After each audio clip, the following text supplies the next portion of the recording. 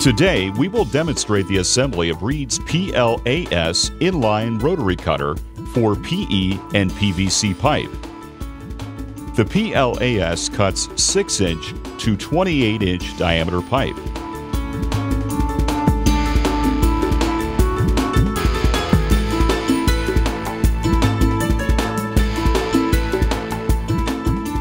We will first assemble the PLAS1 6 inch to 12 inch diameter. This is the smaller version of the tool and can be extended up to 28 inches. This assembly includes the A-frame assembly, the C-frame assembly, four link pins, one screw assembly, and one link.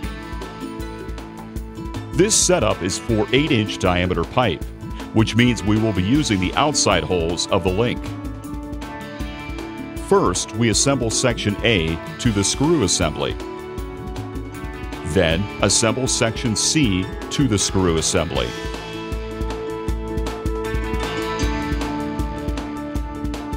Finally, connect section A and C together using the link.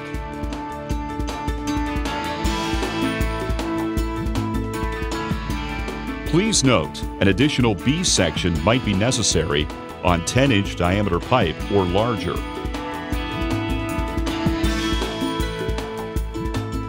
Next, we will assemble the PLAS2 on 18 inch pipe. This assembly includes the D frame assembly, two C frame assemblies, one B frame assembly, one screw assembly, eight link pins, and three links. This assembly will be for 18 inch diameter pipe using one inner and two outer holes on the link. First, we attach the D assembly to the screw assembly. Now, attach the bottom of the screw assembly to the C assembly. Then, link the two C assemblies together.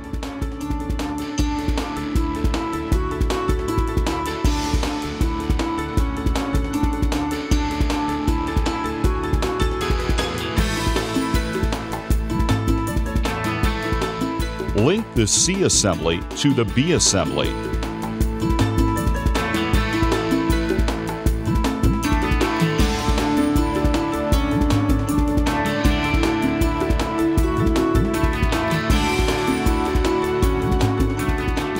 And then the B assembly back up to the D assembly.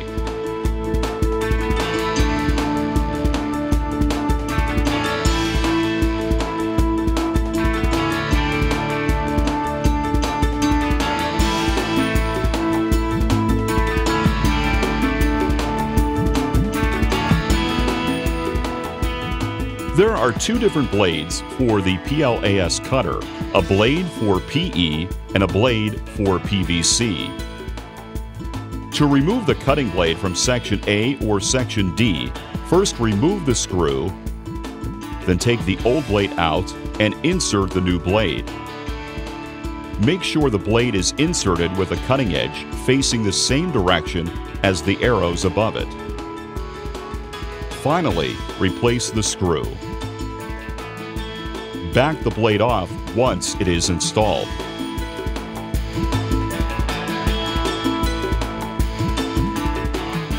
This is the full range of Reed's PLAS cutter line.